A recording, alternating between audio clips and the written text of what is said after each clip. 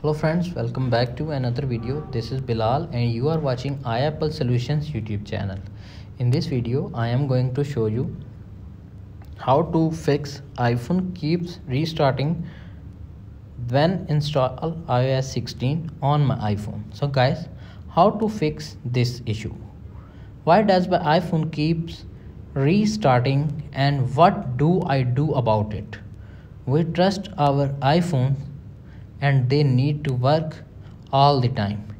It would be great if there was a single reason why iPhones restart over and over again, but there is not a magic bullet for this problem. In this video, I will explain what caused iPhone to keep restarting and I will show you how to fix restarting problems on iPhone. Attention if you are using iPhone X or earlier model. If you have an iPhone X or earlier model that keeps restarting, please read, please watching the keep watching the video until the end and fix your issue. Simply force restart your iPhone if you are using iPhone X or earlier, press the power and volume up button until you see Apple's logo on screen and fix this problem. If you are using iPhone 6, 7 and older models, please press the power and home button until you see Apple's logo appear on your screen and reboot your device and fix this problem. If solution number 1 is not working, now applying the solution number 2. Solution number two is make sure that the latest iOS is installed. Open the settings app, tap on general and tap on the software update. You can see appears on screen checking for updates. iOS 16 is up to date. If update is available, download and install the update on your iPhone, iPad and iPod touch and fix restarting problem. If solution number 2 is not working, now applying the solution number 3. Solution number 3 is update all apps. Simply open the App Store app. It will take some seconds to wait. You can see appears on screen.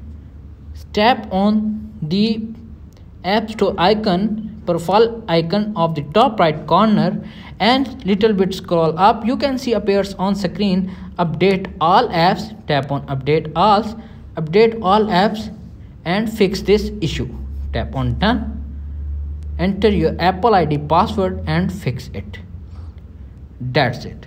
If solution number 3 is not working now applying the solution number 4 solution number 4 is reset all your settings. Open the settings app and little bit scroll up to find general and tap on it. Little bit scroll up and tap on transfer or reset iphone. Tap on reset. Reset all settings. Enter your iphone passcode. To confirm this will reset all settings no data or media will be deleted simply tap on reset all settings to confirm this action and reset all settings of your iPhone, iPad and iPod touch.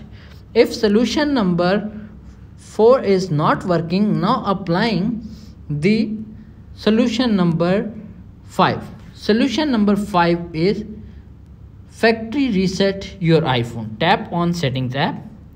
Little bit scroll up to find tap on general. Little bit scroll up, tap on transfer or reset iPhone. Tap on erase all content and settings. Tap on erase this iphone tap on continue. Enter your iphone passcode.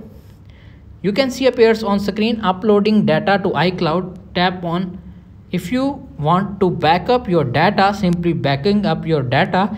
If you want backing up your data skip backup enter your apple id password sign out apple id and erase your iphone and fix this problem.